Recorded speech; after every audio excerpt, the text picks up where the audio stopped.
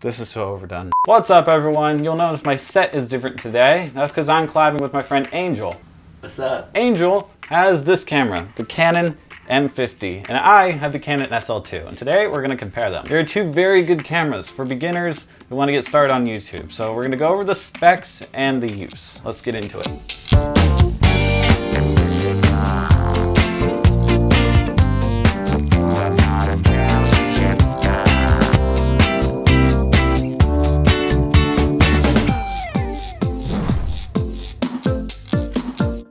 So, the SL2 and the Canon M50, these are two very similar cameras, but we're gonna go over some of the important differences. The first and most obvious is the size. You'll notice that the SL2 is a lot bigger, and that's because it's a DSLR. The M50 is a mirrorless camera, which means it doesn't have a mirror that flips up every time you take a picture. DSLRs tend to be heavier than their mirrorless counterparts, which could be considered either a benefit or a flaw depending on your use. When I'm vlogging, I like my camera to be as light as possible, and if I had one, I'd probably use the M50 for vlogging. So the size point goes to the M50. Next, let's talk about lens compatibility. Canon is known for its high quality glass and having tons of it. Like they have tons of lenses, but all of that awesome gear doesn't work with the M50. The SL2 has an EF mount, while the M50 only has an EF-M mount, which requires an adapter to work with most Canon lenses. You can get one for 100 bucks from B&H. Thankfully, Canon seems to be shifting their focus, no pun intended, to the mirrorless lineup. They have so much glass for DSLRs and that kind of camera, but they don't really have anything for mirrorless. So one thing they're trying to do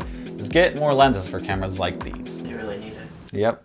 Now that's great, but given the lens availability right now, or for the next few years, it's really limited. So the SL2 gets the lens compatibility point. Next thing I want to talk about is resolution. Now, fair disclaimer, I still shoot in 1080p for everything. I think I've only posted one video in 4K, and it was with a GoPro, so it was it really wasn't like the highest quality. And, and, I'm fine with only being in 1080p. I don't need 4K. It's like not everyone has a 4K monitor at their disposal. Most people are still in 1080p. So 4K isn't urgent. But for those of you who really care about 4K, here are the numbers. Both cameras can shoot up to 60 frames per second in 1080p, but the M50 can do 4K at 24 frames per second. Asterisk, asterisk, there, there are a lot of conditions. First, I said it's in it's only in 24 frames per second. You can't do 30 even, and you definitely can't do 60. Secondly, there's a crop factor of 1.6, which with an APS-C sensor, that makes your crop factor like 2.5 total compared to a full frame camera. And thirdly, you lose Canon's beautiful dual point autofocus, which is fine if you're manual focusing everything like, like a, a film or something, but Good luck vlogging in 4K. As for the SL2, it only does 1080p.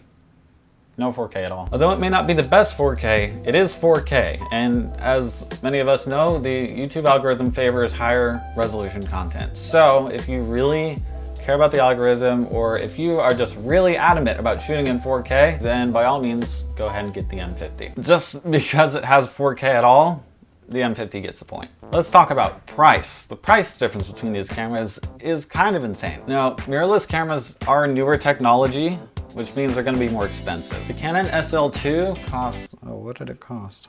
450, 580. This is... Mine cost 600. With the lens? Yeah. Okay, I might need to update these numbers. Here, why don't I just bring you in for this segment? Now, did you buy the body and the lens? Or did you just buy the body the lens separate? I got the... You want me to do the audio through there too?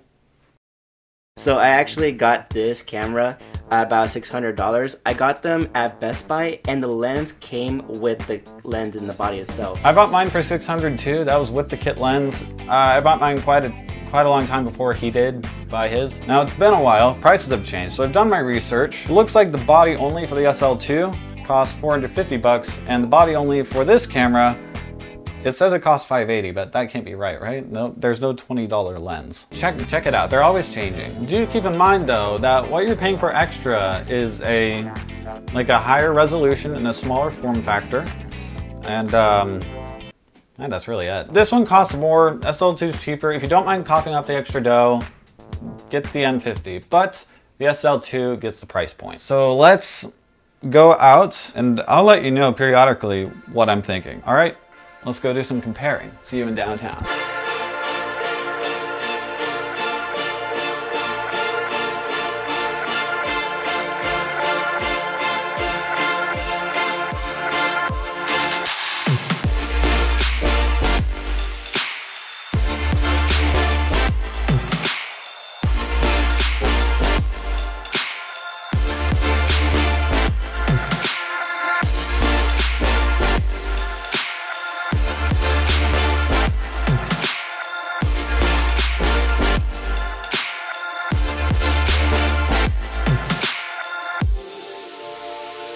What's up? It's Editing Stephen, and I'm gonna talk about all that GoPro footage I got while I was shooting. Let's start from the top, shall we? Alright, good to go. Just walk a normal speed. Hang on. Your camera doing something automatically? Why won't they stay? It's compensating for something and it's in manual mode. It's changing my shutter speed. Okay, looking back on it, it might have been ISO, but it's in manual mode. The camera shouldn't do that, right? Like, maybe maybe I was doing something wrong, but uh, to my knowledge, the M50 was in full manual mode and still compensated for something. Whether that was ISO or exposure compensation. I don't know, it would just correct for whatever it was metering, you know? So I think it's in this shot, I actually Angel's shirt is black, so I put it on his shirt. It exposed for that, and I turn it to like a brighter area. Watch what happens. Versus here, it is compensating. Yeah, I, I don't know. My camera doesn't do that. It could be a setting I had messed up or something. Like maybe I don't know. If you have an, if you own an M50 and you know it really well, let me know. If you've had this problem and know how to solve it. But um, like straight off the bat, first day shooting with the M50, I didn't know what to do. Or was the one that you just took? They're on one take. Oh, this this was um, this is actually really cool feature I saw. My camera doesn't have this, so I'm super jealous. They're in one video. Oh, okay, okay. Here. Oh, you can scroll like that? I can't do that. Playback scrubbing. Um, I want I want playback scrubbing. I'm actually jealous of this. This would be so helpful, especially for my shooting style. I like to shoot everything in one clip. Like these talking head videos will all be one giant clip that I have to chop up. And sometimes when I'm shooting B-roll, I tend to like cut between different shots I'm going for, even between tight and wide shots of the same scene. But sometimes I'm just rushing or I don't like I forget to cut and I just capture the transition. But uh, I don't have the ability to scrub past the first take or the first shot that I got to see the next one. So this would really make my life easier, Canon. If you if you wouldn't mind doing a firmware update, that'd be awesome. See, the image stabilization is pretty good on this. Like I think it's optical. Ah, okay. That's it. My camera has has optical image stabilization, the SL2, which I would normally think is better because it's not like taking any pixels away.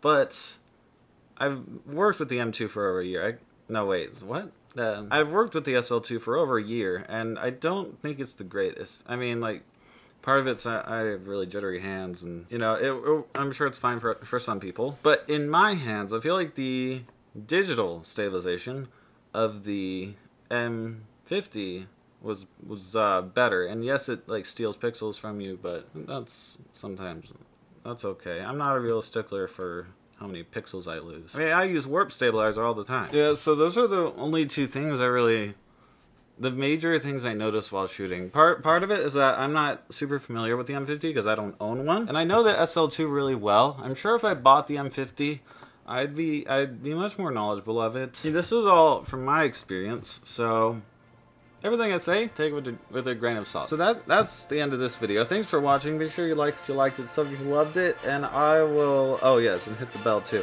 I'll leave the link to Angel's channel and his video in the description and up here. See you next week. Bye. Whoa. I'm still getting used to this new lens. See, I used to just be able to cover the old lens just like that. But you actually got to go all the way around it. That's kind of crazy.